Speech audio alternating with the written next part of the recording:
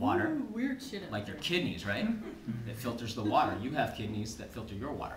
And then what's the other thing? You gotta have a full spectrum light, right? You gotta have a full spectrum light because it needs to mimic the sun. So we have needs just like that. Now, the fish flakes are really important. That's like the food that we feed to the fish that are like your cells. That's really important. But is the water more important than the quality of the fish flakes? The quality of water may be more important. Mm. I think Yeah. so. Yeah. Yeah, if the water's dirty, the fish won't thrive even with good food. Mm-hmm. If we crank the pH way up alkaline, the fish will die even if they get the best food. If we crank the pH down low acidic, and we've explored a lot today, if you were out on the walk, we talked a lot about acidity and alkalinity. If we start to crank the acidity up, or we start to crank the pH down into an acid water, the fish can't thrive even with good food, right? If the water has too much salt in it, if the water's really stagnant, if there's chemicals or pollutants in it, no matter how good the food is, they can't thrive. Now, we've all taken the steps to switching to really good fish flakes, right? So maybe in the beginning, our fish flakes for our body might have been like McDonald's and Twinkies and, and you know, shepherd's pie or whatever. And then we start shifting over to real good quality food. So today at lunch and at dinner, we had like the real good fish flakes. The quality of our water, however, as we kind of can see through metaphor, is actually really the key thing. Because we're really like a fish tank. We're not like an airplane, we're not like a car, we're not like a motor scooter where um, it's just a machine that runs on a fuel. If it was, you could eat anything, right? Just put fuel in there. But we're aquatic. We're an aquatic ocean biology.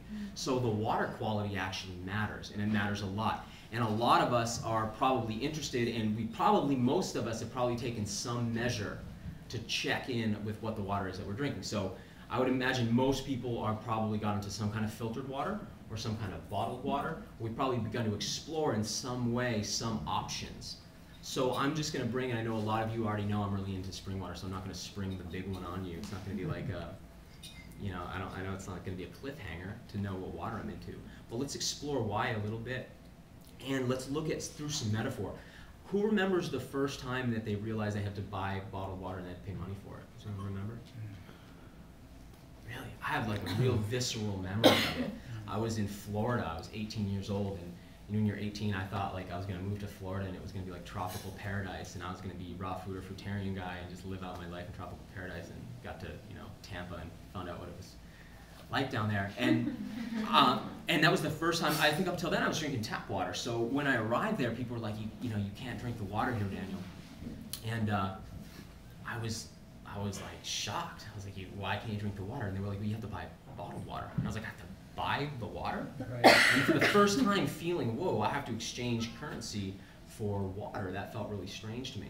So I've sat with that for years because that was one of those formative experiences that has informed me in how I personally see the world. Today, I, you know, what I understand is that water is our freely given birthright from the earth.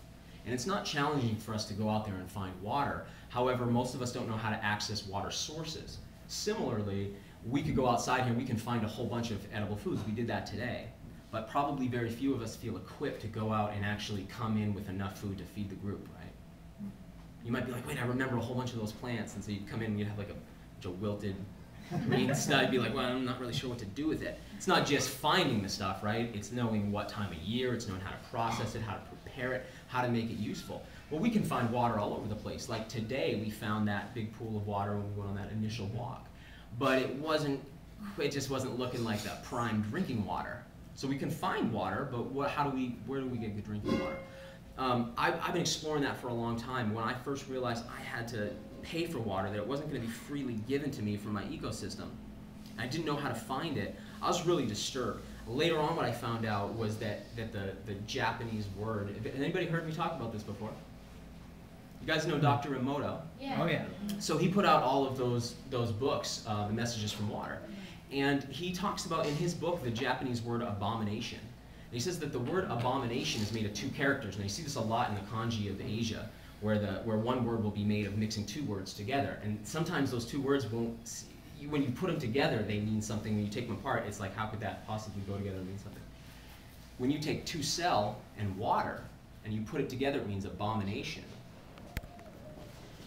that kind of you can kind of viscerally experience that right it's like yeah wait a second Well, what happens with water when we drink it? Right? If we put water, if we drink some water right now, what's going to happen? It's going to go in the mouth. Mm-hmm. Like, let's really break it down because a lot of people have. You guys remember that game Mousetrap when you were a kid? Yeah. Mm-hmm.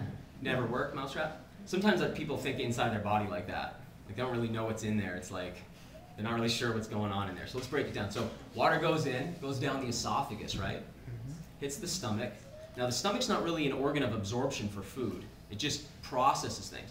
Few things get absorbed in the stomach, like alcohol, because we talked about alcohol as a solvent, so it can absorb. Aspirin, strangely, does. But most things don't absorb in the stomach, but water can. Because we're made of water, it starts to diffuse right in the stomach. Some gets into the small intestine where it's absorbed there, some gets into the colon and it's absorbed there. But the whole gut tube absorbs water right into the bloodstream, immediately into the bloodstream. There's nowhere else that it goes. It doesn't go first to like, it doesn't go to like a tube that goes to the kidneys and you pee it out. It goes into the blood immediately. So drinking water is like pouring water into the fish tank. You're literally adding it to the rest of the water. That makes sense to everybody? Yeah. So it's your blood. So this water right here, right, this is my blood. This is going to be my blood. And there's not a lot more sacred than the blood, right? Like we see in the scriptures where it says the blood is the life. So your life is in your blood. So then it occurs to us then if if we have to purchase our water, what we're really doing is we're purchasing our bloodstream. And that's kind of a strange concept, right? Like suddenly it's like, hey, wait, what's going on here? How do we get to this place where we have to, to buy our blood? That's really weird, right? It's really strange. And that never sat right with me. So I've been exploring other options. Now, I started out with, you know, filtering my tap water. I started out with like the Brita kind of filter. You guys all know those filters, right? Mm-hmm. What are they made of? Who knows? Charcoal. Shut it up. Charcoal, they're, yeah, they're, they're like activated charcoal. They're carbon. Carbon has this ability to grab, grab different molecules, bind them up, lock them up, so that, you know, the water can come through on the other side cleaner. But how well do those work? I mean, most of us probably know they're, it's like this much a, a filter, right? So the water just runs through and comes out the other side, and it does something, but it's not really going to clean the water, right? And if we if we read the box, it says removes what? Anybody seen it? Sediments? Yeah, some sediments, some some contaminants, the taste of chlorine. But it never says it removes chlorine. It just removes the taste of chlorine. Some things go through, right? Things get through there. So um, interestingly, those filters are more kind of like they make us feel good up here, but they're not really doing a whole lot. So the that sorts starts to like be less of an option when you're going, hey, you know what? I'm empowered to take control of my health. And if I said, hey, if you found out some of the foods you were eating were bad, what'd you guys do when you found out the foods you were eating were bad? Made a switch, right? Hey, I'm gonna make a switch because you got the power to. So when I found that out, I was like, oh, time to make a switch. So I went on to the reverse osmosis filters. That's a more powerful filter. Now that removes a lot of stuff. That removes a lot of stuff. Starts to pull a lot of contaminants out of the water. What's the next? What's the next big step? What's the one people do to really break their water down and clean it? What's the biggest squeak clean? Distillation. Hey, S- Steven, Yeah. can I grab you out here? We're gonna pause for a second. Steven's just been, you know, busting out the chocolates. He's got some chocolates for us tonight that he, that come from directly from the Surthrival products that are out there.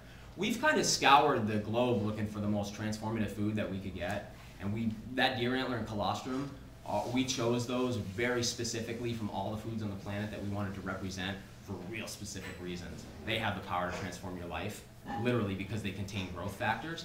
And Steven called me up the other day and said, "Hey, do you think we could put that in chocolate?" And I was like, "Yeah, let's do it." So we have that in chocolate. We're gonna have those tonight if you guys are interested. Very powerful substances, and we've actually not really had them in a chocolate before. So this is kind of the first time, which is exciting. Chocolate is a delivery vehicle for medicine, so we're gonna deliver it via chocolate. And um, if you feel like dropping a donation at all for any of that, we're gonna have that bowl out, but you don't have to. So just check in with yourself if you feel that, and if you don't, please still imbibe in them because we want you to share in them for sure, and we want you to experience those medicines either way. So those are options for you. So thank you, uh, Stephen, for. Right. I can, uh, if you guys are up for some chocolate, I can actually just pass around while Yeah, you that'd be guys fine. I'll talk. just We keep can do that going, man. silently. Um, we'll, we'll start with our, our first course. It'll be the Could you- chocolates. Could you describe better what we're getting? Absolutely. the colostrum chocolate? Yeah, I, I will, but I'm not gonna do it yet. Okay. But I will. I'm just gonna make you wait. All right. So you know, distillation's another one. We hear a lot about that. A lot of the health proponents out there are talking about Is it the same distillation. thing, just more- So some of you might go like, you might go like, you know what, Daniel came down here and he talked, he, he had this to say about distillers and this person had this to say about them. And why are we, why would I have my own view on it just based on information that I have that might be different than information